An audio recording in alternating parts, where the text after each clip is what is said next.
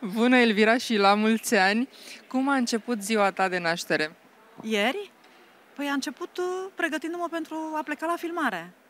Uh, M-am trezit, de- m-am trezit foarte pupată de copilul mic, foarte pupată de copilul meu, care m-a drăgălit și am râs cu mama că a avut așa o urare, a zis hai să fii sănătoasă că frumoasă ești, ca și când ăsta era scopul vieții.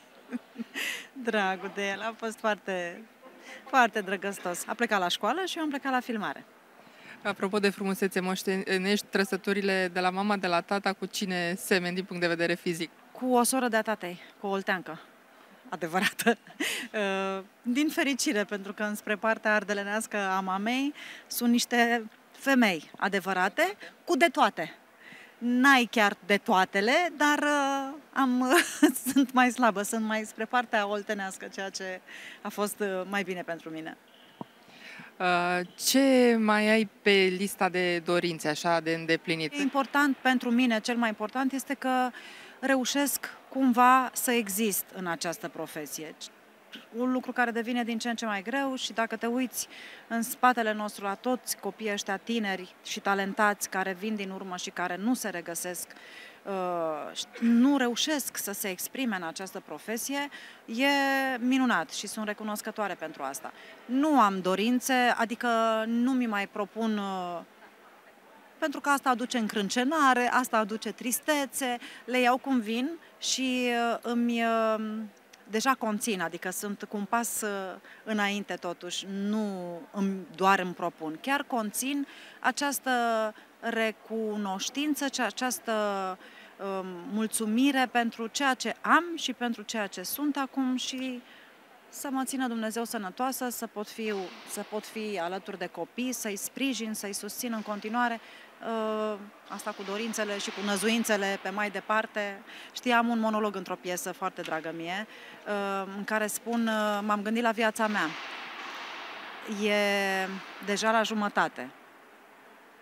De fapt, dincolo de jumătate. Cam Cam la asta ar trebui să mă gândesc eu, că e dincolo de jumătate și ar trebui să chiar să mă bucur de fiecare zi. Ai avut vreodată pro- o problemă legată de vârstă, nu știu, să te panichezi că a apărut un eh, rid, să, nu știu, când ai schimbat prefixul la, poate la 30, la 40, stai așa un moment din ăsta, un prag psihologic?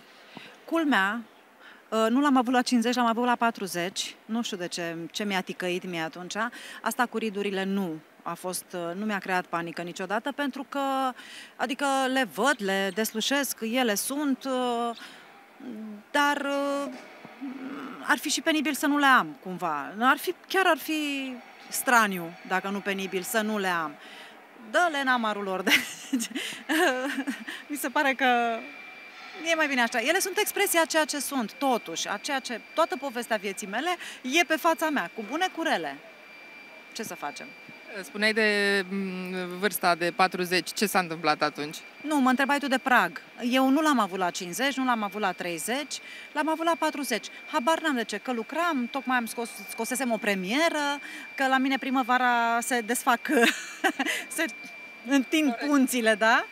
Și, din fericire, în preajma zilei de, mele de naștere, în ultimii ani, am tot avut de lucru, știi? Și n-am stat să trag linie și să văd unde e plus, unde e minusul, câte sunt pe plus, câte sunt pe minus. Și a, așa s-a întâmplat atunci, la 40. Nu știu de ce. M-a luat așa o ușoară panică, dar nu aș mai putea să spun de unde, de unde mi s-a tras. Nu mai știu. Uh, Spunem cum decur filmele la Clanu și ce ți-a fost așa mai greu de realizat pe platouri. Nu, nu e nimic dificil. Adică nu e dimensiunea asta a dificilului, știi, să mă pună... Uh, nu. Mm, Ne apropiem ușor, ușor de final de sezon. Uh, nu, sunt dificile poate, dar uh, eu încă n-am intrat așa foarte adânc în, uh, în uh, secvențele astea extrem de active și de... Uh, dar, na, când filmezi în depozite și în tot felul de spații, locații dezafectate și așa, um, e mai complicat, dar, uh, slavă Domnului, până acum n-am avut, uh, n-a trebuit să-mi arăt uh, abilitățile fizice în mânuirea pistoalelor și altă, uh, port o festa antiglonț și cu aia mi-e greu, dar n-am fost pusă, n-am pus, nu, nu, nu, nu e, nu e, nu e, nu e, numai că, mă rog, te încorsetează.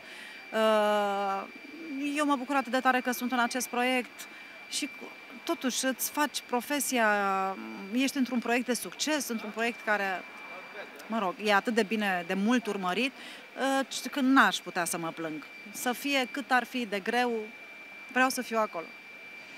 Uh, soțul tău ce zice? Te-a, totdeauna a fost un sprijin pentru tine în ceea ce privește meseria și programul haotic așa pe care îl are un actor cu weekenduri lucrate? Mm, și le-a asumat. N-am avut uh, praguri din astea așa să ne uh, încontrăm foarte tare. El are un mare respect pentru această profesie și pentru oamenii care o slujesc și nu am avut probleme. Adică nu am stat să ne gândim, nu am stat să ne punem uh, acest astfel de întrebări, ne-am dus cu, cu viața. Nu, nu. Mă, da, mă, ce să facă? Are încotro? Cum ar fi? Nu, dar mă refeream dacă a existat așa un moment în care să spună că, nu știu, poate vrea să plecați undeva la munte și da. tu aveai spectacol. Da, da, s-a întâmplat de foarte puține ori, așa să ne mai zbatem noi așa într-un dialog. Uh, ce fain ar fi să plecăm și noi într-un city break, break. Și nu s-a arătat. Noi nu putem să plecăm în city break. Mă rog, asta e. Lunea e zi liberă la actori și de multe ori Uh, da, dar nu luna, merg copiii la, mergeau copiii la școală, deci oricum, uh, iar ai mei au fost un tipar uh, aparte de copii, ei n-au vrut să lipsească de la școală. Acum în liceu, în liceu nu știau cum să rupă ușa și să se ducă în parc, dar în Cismigiu, dar în primele clase erau foarte cuminți și nu concepeau ca ei să lipsească de la școală. Dar altfel de discuții nu.